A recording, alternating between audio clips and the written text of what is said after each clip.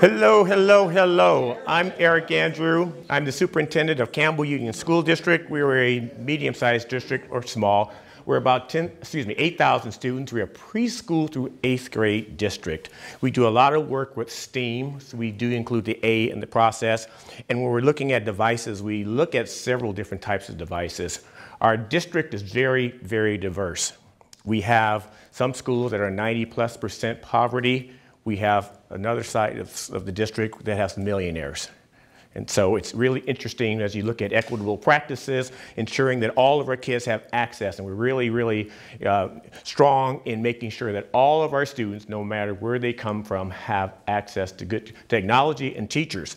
And so I'm going to talk to you a little bit about how we set up a structure because I'm a true believer in data shmata is the relationships that matter. and so there's a book coming out with that title soon. Trust me. Trust me. So you see the Ghostbuster, who are you going to call? One of the things we really try to do in Campbell is to ensure that when we have professional learning, that all of our staff is involved in the process. And if you really want to know what you believe in, what your why is, follow the dollars. Follow the money. That will always tell you where your priorities are. So one of the things we've done here is we're committed. We're committed to making sure that technology is integrated into our learning. And how do we do that? We have several positions here. One being a uh, director of technology. We all have some form of innovation specialist. And ours is very robust. He is so good, so good, that last week he resigned to take another job. Son of a gun. So, Kevin, I can relate to that. Relate to that. But here's how we are committed to ensuring that technology is a part of our everyday instruction. First of all, we have integration coaches, five coaches who actually, uh, John knows most of my coaches very, very well because they are CUE rock stars. They are the ones who have uh, I teach sessions every summer for our teachers. They are the ones who go to all of the ISTE, the CUE, any type of training they are the people who ensure that our district is on uh, par to have the most current research.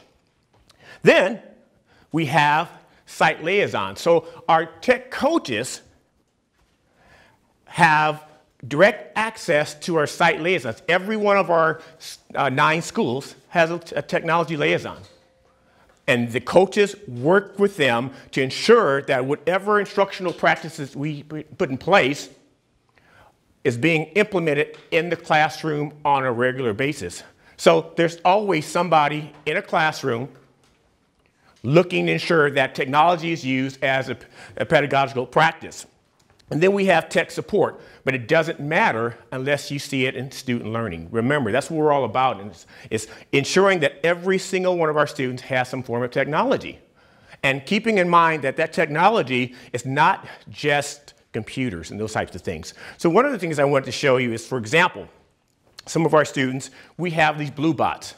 And so we have a very, very strong program in, our, in which every single one of our second graders, for example, receives instruction from an authentic artist from Montalvo Arts.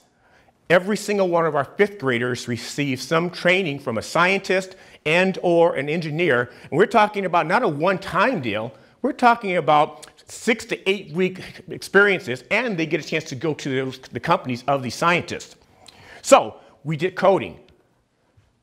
So all of our third graders learned coding. And so the, here's an example of some of our students who are taking the Bluebot and they're doing chronologies of history. It could be of anything. They code the, the little Bluebot to go to various uh, uh, number lines that says in this, during this period of time, this is what happened. We do it for autobiographies, we do it for, for science, we do it for math, all different types of things. And so all of our third graders know coding. Down below, you see a youngster there excited about his little iPad. All, next year, we will have one-to-one deployment for our second through eighth grade, and then in the spring, we'll have it from preschool through uh, uh, eighth grade. The thing that's most important is that we have hands-on coaches. So if there's a teacher who gets stuck, who's not sure, there's somebody by their side willing to work with them and helping them along the way. Staff meetings, professional development, all of these things use technology as a way of being integrated. Our technology person sits on, or actually the coaches as well as the director sit on our C&I uh, department's uh, meetings.